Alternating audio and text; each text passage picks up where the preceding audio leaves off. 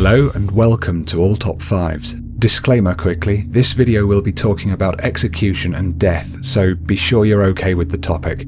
It's sad and it's heavy, but I won't feature any truly graphic images or sounds. Traditionally, when a prisoner on death row is to be executed, they are given the opportunity to speak a final statement, otherwise known as their last words. Here are five final statements from history that I think are the most interesting. Number 5. James French. The last person executed in Oklahoma before the suspension of capital punishment in America between 1972 and 1976 was James French.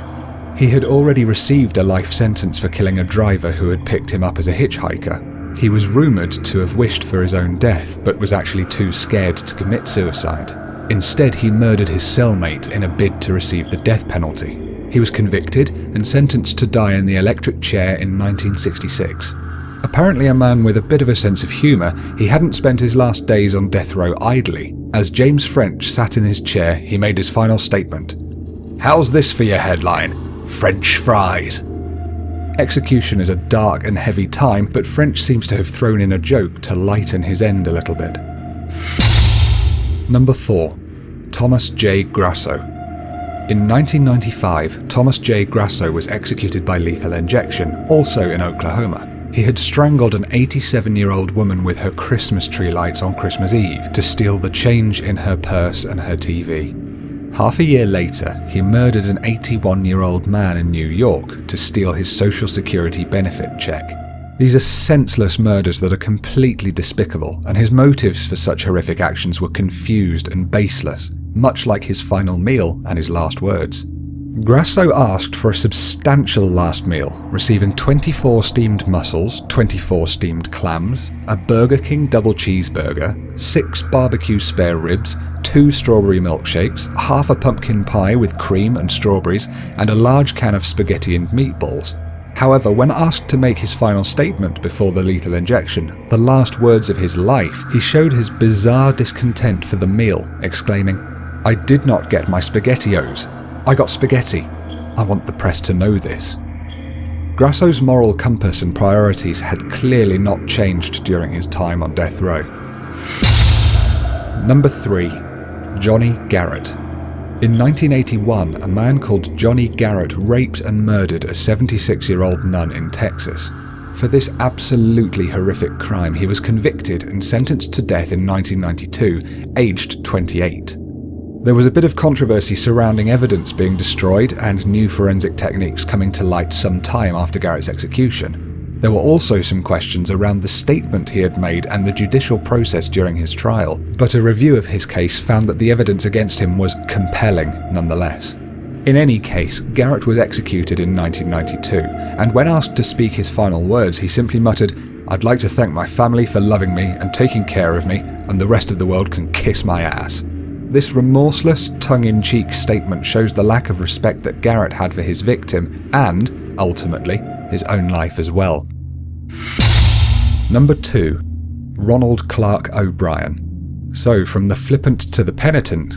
Nicknamed the Candyman, Ronald Clark O'Brien was convicted of killing his eight year old son with cyanide laced candy on Halloween to claim the life insurance from the boy's death. He'd also given the same candy to his daughter and three of her friends in an attempt to cover this up, but they didn't eat it, and he was convicted of murder and attempted murder in 1975. His sentence was death for the evil crime that he had committed. In prison, even the other convicts on death row hated and shunned him for having killed a child. After three delayed execution dates, O'Brien was finally put to death by lethal injection in 1984. He himself was hugely against the death penalty, and his continued appeals are partly what caused the delays. When he made his final statement, O'Brien spoke eloquently. What is about to transpire in a few moments is wrong. However, we as human beings do make mistakes and errors. This execution is one of those wrongs, yet doesn't mean our whole system of justice is wrong. Therefore, I would forgive all who have taken part in any way in my death. Also, to anyone I have offended in any way during my 39 years, I pray and ask your forgiveness, just as I forgive anyone who has offended me in any way. And I pray and ask God's forgiveness for all of us respectively as human beings. To my loved ones, I extend my undying love. To those close to me, know in your hearts I love you one and all. God bless you, and may God's best blessings be always yours. Ronald C. O'Brien. P.S. During my time here, I have been treated well by all TDC personnel. I like the respect and remorse he seems to show during these final words, whether they're genuine or not. It's not something you hear too often from someone who knows that they're just about to die. Number 1. Aileen Wuornos. Between 1989 and 1990, a serial killer took the lives of seven men in America. She claimed the murders were in self-defense while working as a prostitute, but the judge ruled her as guilty of six of the murders and sentenced her to death.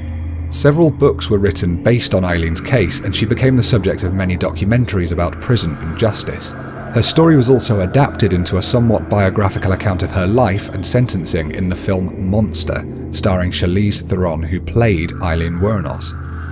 Aileen was executed in 2002, killed by lethal injection after years of alleged torment and abuse from her prison guards on death row.